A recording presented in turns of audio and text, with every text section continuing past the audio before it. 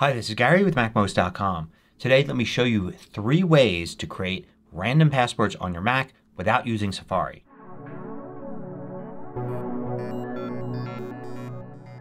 MacMost is brought to you thanks to a great group of more than a thousand supporters. Go to MacMost.com slash Patreon. There you can read more about the Patreon campaign, join us, and get exclusive content and course discounts. So in my recent security videos I talked about using either Safari or a third-party password manager to have random passwords. Not only will a password manager allow you to store your passwords, but when you sign up for a new site or create a new password for an existing site, you can generate random passwords to use. And random passwords are what you should be using. But what if you're not in Safari or even in a web browser when creating a password? What if you're using an app or something or in some situation where you can't generate a new password using either Safari or a password manager? Well there are several ways to generate truly random passwords on your Mac. The first one is to use an app that you have on your Mac called Keychain Access. And this is an app that specifically deals with the keychain, what you have in Safari that stores your passwords. But we're not going to actually use any of that normal functionality. We're just going to use it to generate a new password. So I'm going to use Spotlight here to search for Keychain Access. And I'm going to run it. Now you're going to see a lot of information here about all of the different items you have in Keychain. Don't worry about that. We're not using that at all. Instead we're going to go to File and then say New Password Item. Now this will allow you to generate a new item in Keychain. But we're not going to use this either. The only reason we went here is to access this little button. Click this little key button here and it comes up with something called the Password Assistant. And this will generate random passwords. It'll put one there right away. And you can set the type to letters and numbers, numbers only, random, or meeting a certain standard. We'll stick with letters and numbers and you can change the length to be whatever you want and then just select again to have it regenerate a password.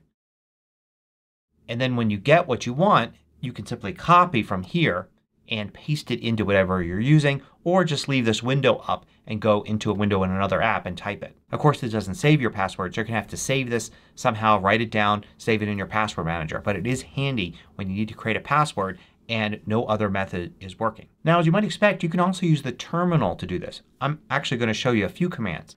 So I'm going to launch terminal and first let's start with a very short simple command.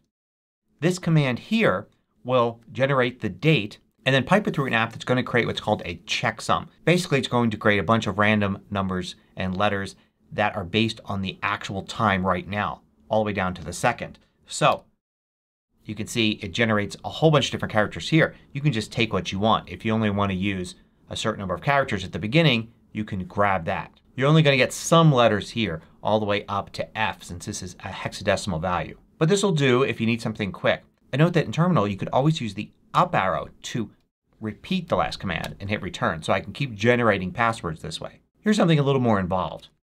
This command is actually going to use the OpenSSL app in Terminal and it has a random function. And it's going to generate a base 64 random number and you're going to get something that looks like this. So it's going to use upper and lower case letters and numbers. So this is also handy for some quick passwords. Now here's one that's far more involved but much more useful.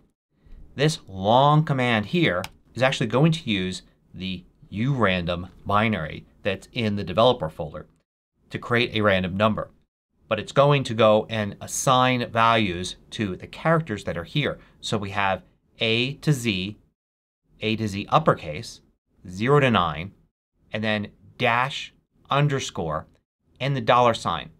There has to be a backslash in front of the dollar sign. So if you don't want to have, say, the underscore and dollar sign, you can remove these three characters here and you'll only get the letters, numbers, and an occasional dash. And then here is the length of the password. So we get that password there. I'll use the up arrow to generate another one. I'll use the up arrow again but this time I'll go and edit it so it generates 12 characters. Obviously this is hard to type so you're probably going to want to copy this and place it somewhere where you can easily access it. Put it in a note or a text file or something. So you could always just paste it into Terminal and use it. How about using Automator to do this? After all, if you can program something in the Terminal, you certainly should be able to program something in Automator. Let's create something quick here. I'm going to create a quick action but you could do an application as well. And I'm going to add a bit of JavaScript. So I'll put that in here and then I'll add some JavaScript. So what this code does is it declares a variable here and it puts all of the different characters that we want to use in passwords in here. Then it starts off with a password that's blank and it's going to loop eight times. So if you want to have more than eight characters just change the number right here. It's going to add one character at a time and it's going to grab a character at a position in here that's a random number based on the length of this string. So it's just basically going to pick eight random characters from this and then it's going to return it.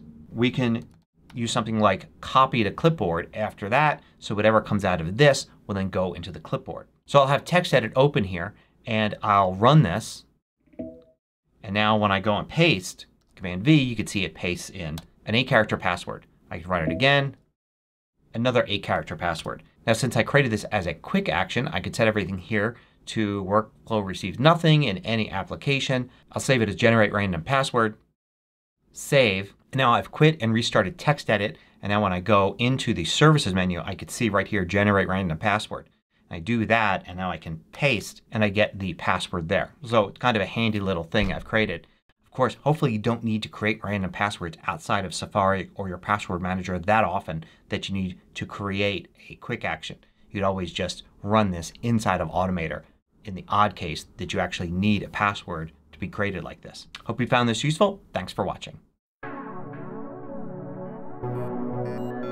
If you liked this video, click the thumbs up button below to let me know. I publish new tutorials each weekday. Hit the subscribe button so you don't miss out.